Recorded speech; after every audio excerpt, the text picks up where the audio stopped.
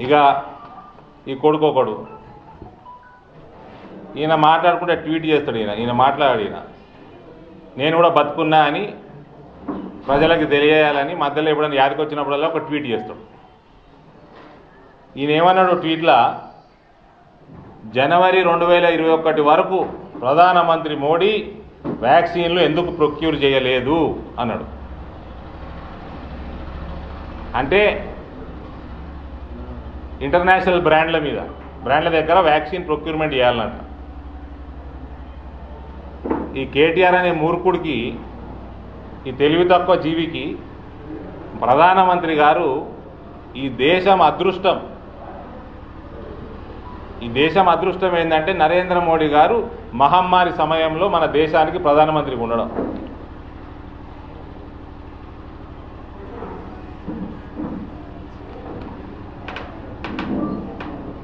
Vaccination ఏ రకంగా భారతదేశంలో programme మొదలైందో చెప్తా నేను.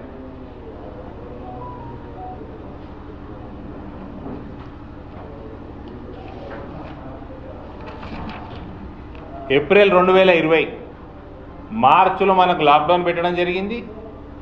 ఏప్రిల్ రెండు వేల ఇరవైలో వ్యాక్సిన్ టాస్క్ ఫోర్స్ ఏర్పాటు చేయడం జరిగింది కేంద్ర ప్రభుత్వం.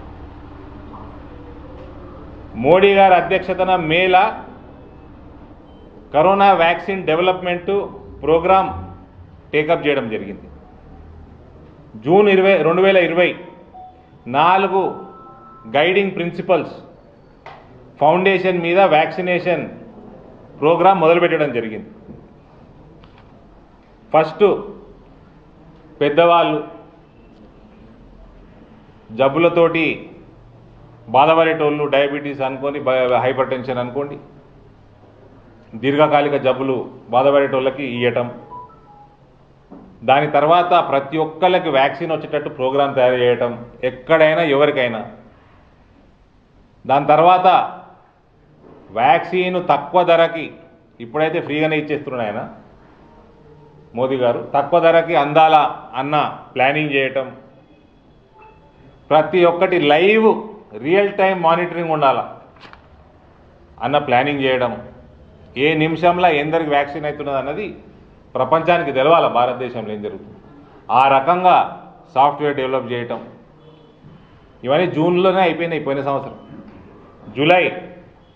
ఇలా ట్రయల్స్ స్టార్ట్ అయినాయి వ్యాక్సిన్. జూలై టూ థౌజండ్ ట్వంటీలో. ఆగస్టు టూ థౌజండ్ ట్వంటీలో. కోవిషీల్డ్ని ఆ- ఆ వ్యాక్సిన్ని బదనాం చేయడానికి కొన్ని మీడియా సంస్థలు క్యాంపెయిన్ మొదలుపెట్టినాయి. సెప్టెంబర్లో ఇండియా ప్రపంచానికి సెకండ్ వేవ్ మొదలైంది ప్రపంచంలో. ఆ లండన్లో అక్కడక్కడ మొదలైంది. ప్రపంచానికి వ్యాక్సిన్ మేము సరఫరా చేస్తామని భారతదేశం ప్రపంచానికి కమిట్ అవ్వడం జరిగింది.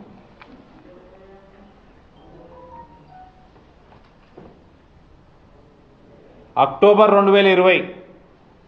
భారత ప్రభుత్వం రివ్యూ చేసింది. Vaccine development for bulk stockpiling filling of vials distribution cold storage etcetera మొత్తం నెట్వర్కింగ్ సిస్టమ్ మీద రివ్యూ చేయడం జరిగింది. ఒక్కో వ్యాక్సిన్ మైనస్ సిక్స్టీలు ఉంటారు ఒకటి మైనస్ సిక్స్ అంటారు. ఏ వ్యాక్సిన్కి ఆ వ్యాక్సిన్ టెంపరేచర్లలో ఉండాలి? ఆ సిస్టమ్ మొత్తం ఏ రకంగా డెవలప్ చేయాలన్నది రివ్యూ చేయడం జరిగింది. నవంబర్ రెండు వేల ఇరవై. గవర్నమెంట్ డిసై మోదీ గారు ప్రభుత్వం డిసైడ్ చేసింది ఫ్రంట్ లైన్ వర్కర్స్కి ఫస్ట్ వ్యాక్సిన్ ఇవ్వాలి ఇవ్వాలని ప్రధానమంత్రి అప్పుడు జిహెచ్ఎంసీ ఎన్నికలు జరుగుతున్నట్టున్నాయి. ప్రధానమంత్రి ఏమో గీ పనులు ఉంటే మార్చిలో వచ్చే ఎన్నికల్ని జిహెచ్ఎంసీ ఎన్నికల్ని నవంబర్ తెచ్చుకున్నాడు భయానికి మన ముఖ్యమంత్రి. గిసింట్రోడు గిన దేశానికి ఏమైనా ఉండుంటే ఇలా భారతదేశం నాశనం అవ్వు.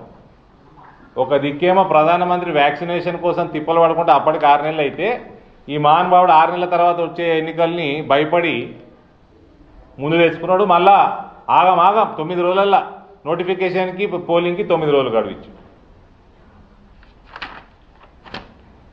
అది నవంబర్లో ప్రధానమంత్రి serum institute visit Bharat biotech visit last stage of vaccine development review చేయడం జరిగింది. జనవరి థర్డ్ రెండు వేల ఇరవై ఒకటి నాడు drug DCGI drug controller dry run start చేయడం పర్మిషన్ ఇచ్చింది. జనవరి పన్నెండు ఫస్ట్ షిప్మెంట్ భారతదేశాన్ని వదిలి బయటికి పోవడం జరిగింది. వేరే దేశాలకు సరఫరా కూడా మొదలుపెట్టినాం. జనవరి పదహారు భారతదేశంలో ప్రపంచంలోని అతిపెద్ద వ్యాక్సినేషన్ డ్రైవ్ మొదలైంది. ఈ కేటీఆర్గా జనవరిలో లేచి ఇప్పటిదాకా ఎందుకు పని చేయలేదు అంటాడు.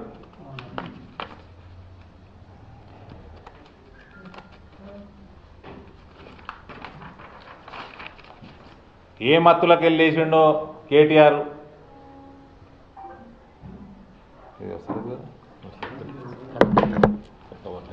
ఏ మత్తుల కళ్ళు లేచిండో మరి కేటీఆర్ చెప్పాల? అన్ని రోజులు ఏడమనుకున్నాడు ఇవాళ వ్యాక్సినేషన్ డ్రైవ్ మొదలైనాక నేను అమెరికా మాట్లాడుతున్నా జర్మనీలో ఉన్న మిత్రులకు మాట్లాడుతున్నా యూకేలో మాట్లాడుతున్నా ఇతర దేశాలలో ఉన్న తెలిసిన వాళ్ళకి మాట్లాడుతున్నా ఎక్కడ కూడా ఇవాళ రిజిస్టర్ చేసుకుంటే నాలుగు నెలల కంటే ముందు వ్యాక్సినేషన్ లేదు. నాలుగు నెలల కంటే ముందు వ్యాక్సినేషన్ లేదు. ఇలా భారతదేశంలో మే నెలలో ఎనిమిది కోట్ల డోసులు జూన్లో పది కోట్లు జూలైలో పదిహేడు కోట్లు ఆగస్టులో పంతొమ్మిది కోట్లు సెప్టెంబర్లో నలభై రెండు కోట్లు అక్టోబర్లో నలభై ఆరు కోట్లు నవంబర్లో యాభై ఆరు కోట్లు డిసెంబర్లో యాభై తొమ్మిది కోట్లు వ్యాక్సిన్లు డెవలప్ చేయబడతాయి భారతదేశంలో. కోవాక్సిన్ అనేది కోవిషీల్డ్ అనేది బయటికి వెళ్ళి తెచ్చుకునేటి అనేది ఇవన్నీ రెండు వందల యాభై ఏడు కోట్ల వ్యాక్సిన్ డోసులు డిసెంబర్ దాకా భారతదేశంలో అందుబాటులో ఉంటే ఇచ్చేయడం కూడా జరుగుతుంది. అంటే మా అంటే నెక్స్ట్ సంక్రాంతి దాకా ఇండియా మొత్తం వ్యాక్సినేట్ అయిపోతుంది. వ్యాక్సిన్ తీసుకోవాలా అని ప్రధానమంత్రి అడ్వర్టైజ్మెంట్లు చేసుకుంటా పబ్లిసిటీ చేసుకుంటా ప్రోటోకాల్ పరంగా ఫ్రంట్ లైన్ వర్కర్స్ అయిపోగానే ఆయన సొంతంగా గవర్నమెంట్ హాస్పిటల్కి పోయి వ్యాక్సిన్ తీసుకొని ఫోటో పెట్టిండు. అవునా అండి? దేశ ప్రధాని వ్యాక్సిన్ తీసుకోవచ్చు. కొన్ని మీడియా హౌస్లో ఈ కోవిషీల్డ్ రియాక్షన్ వస్తున్నది దీంట్లో రియాక్షన్ వస్తున్నది దాంట్లో రియాక్షన్ వస్తున్నది దేశాన్ని ఆగం పట్టిస్తే ప్రయత్నం చేస్తున్నారు ఒక దిక్కు. అట్లా ఆగం పట్టిస్తున్నారని ప్రధానమంత్రి సొంతంగా గవర్నమెంట్ హాస్పిటల్కి మబ్బుని పోయి వ్యాక్సిన్ తీసుకొని ఫోటో పెడితే ఇక మన ముఖ్యమంత్రి వ్యాక్సిన్ తీసుకున్నాడా? తీసుకున్నాడా? తీసుకోకుండా రోగం కూడా వచ్చాయి. నాకు రోగం వచ్చింది ఆయనే చెప్పుకున్నాడు కదా నిన్న. ఏంటి కోసం తీసుకోలేదు? మీడియా మిత్రులు అడుగుతున్నా. ముఖ్యమంత్రి ఏంటి కోసం తీసుకోలేదు? చెప్పు ఓ నిమిషం సమయం ఇస్తా నీకు. మా మిత్రుడు చెప్తున్నాడు. డాక్టర్ అట మూడు రోజుల ముందు మూడు రోజుల తర్వాత మందు కొట్టద్దని చెప్పినాడు. అంటే వారం రోజులు మందు కొట్టకుండా కేసీఆర్ అంటే ఉంటాడు ఆయన? చచ్చిపోతాడు ఆయన. వాసన మరికి వెళ్ళిపోయి జగదేవ్పూర్కి వెళ్ళిపోయి ఏడుకెళ్ళి పోకున్నా కూడా చచ్చిపోతారు ఆయన. వారం రోజులు మందు ఉండదు అని మన ముఖ్యమంత్రి వ్యాక్సిన్ కూడా తీసుకోకపోయా అరే కేటీఆర్ నువ్వు ప్రధానమంత్రి గారి మీద కమెంట్ చేసే ముందు మీ అయ్యకి సోయి నేర్పి.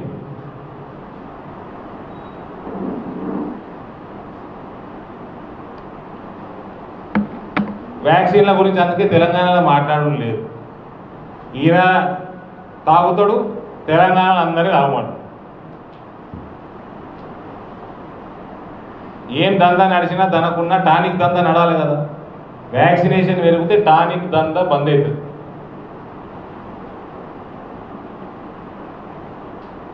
సంతోషరావుకి లాస్ అవుతుంది కాబట్టి వ్యాక్సినేషన్ గురించి పట్టించుకునే లేదు మన రాష్ట్రం. అందుకని మార్చి నెల వరకు పద్దెనిమిది శాతం వేస్టేజ్ ఉండే వ్యాక్సిన్